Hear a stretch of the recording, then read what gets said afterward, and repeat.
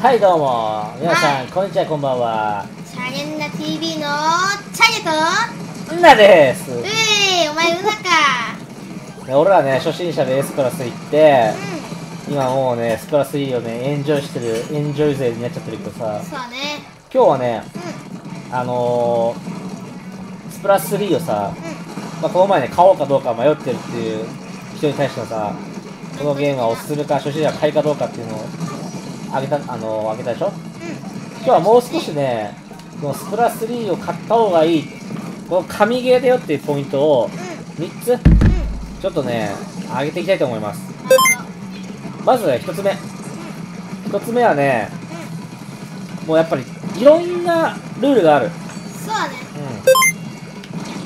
うん。縄張りバトルもそう。縄張りバトルなんかさ、あのー、めちゃくちゃ初心者でも入りやすいよね。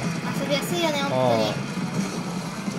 やっぱそのキルするだけじゃなくてキルしたところで濡れてなきゃさ負けなわけじゃん、うん、そこが絶妙だよね。下手な人でも別に全然さ濡れば勝てるんだから、うん、俺ちょっと濡れに特化するわ。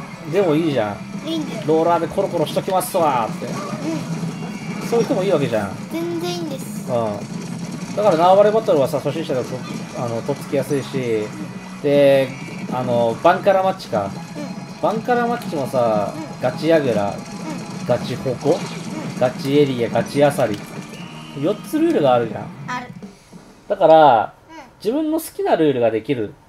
っていうのがいいよね、そうね。ちょっとあの1つしかルール俺アサリしかなかったらさあのガチもやりたくなくなっちゃうじゃん。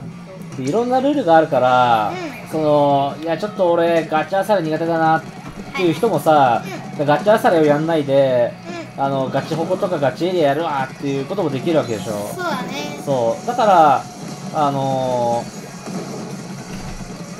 ー、苦手な人でも苦手なルールがあっても、うん、あの S に上がれるっていう人もいるだろうしさ、うん、そういういろんなルールがあるのは飽きないでいいよね。逆に俺エリアばっかやるわって言ってもさたまにはちょっとココやりたいなって時もあるわけでしょ、ね、そう。だからそういうふうに自分のやりたい、ね。えー、ルールで遊べる。ルールで遊べるってところが一つやっぱり飽きない楽しいポイントかなというところですかね。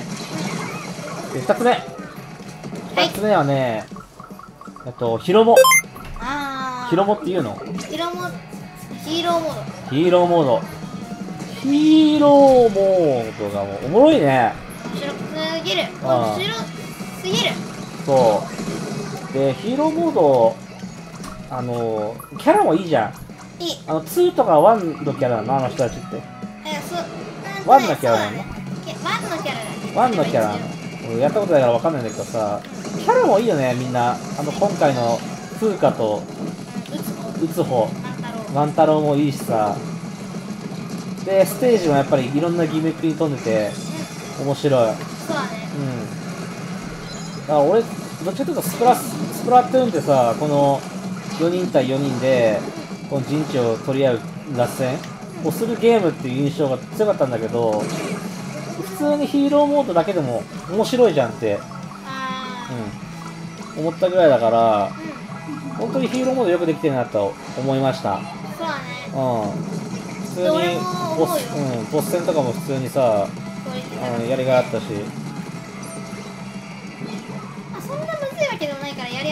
むずいステージめっちゃむずいけどな。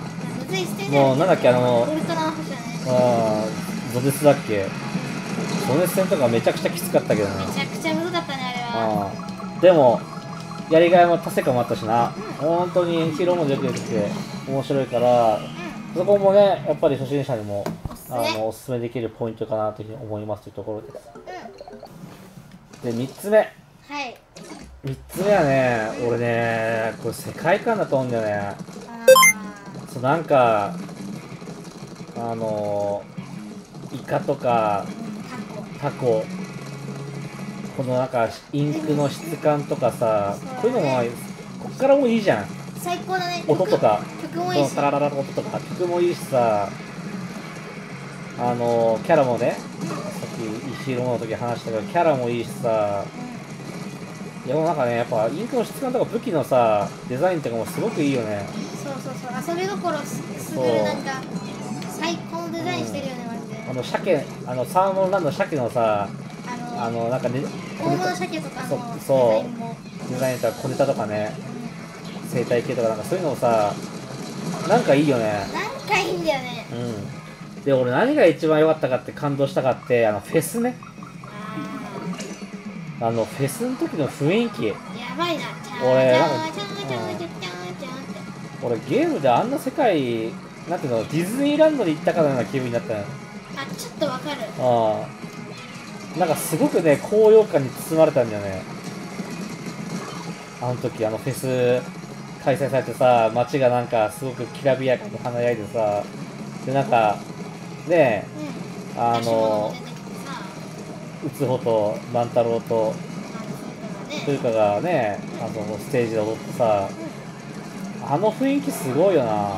最高だよね。そう。だからああいう世界観に浸れるだけでうん。もうそれだけで価値あるうんすごい面白いなと思った。だからこのなんか雰囲気を楽しむそのなんかこの世界にうん。浸れるっていうそれがこのゲームの一つね神ゲーのポイントかなと。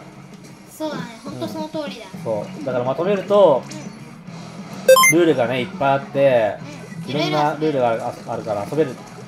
飽きない。一つ目でそれだけじゃなくてヒーローモードがあってそのね。ヒーローモードがあってやりごたえがある。ある。そして雰囲気。世界観のね。3つ目は世界観これが最高。というわけで今日はねうスプラ3の神ゲーポイント3つ紹介しました。い。というところで、えー、強化ししてくれた方はねん。チャンネル登録うんよかった。よろしくお願いします。それじゃあバイビー。お願いご視聴ありがとうございました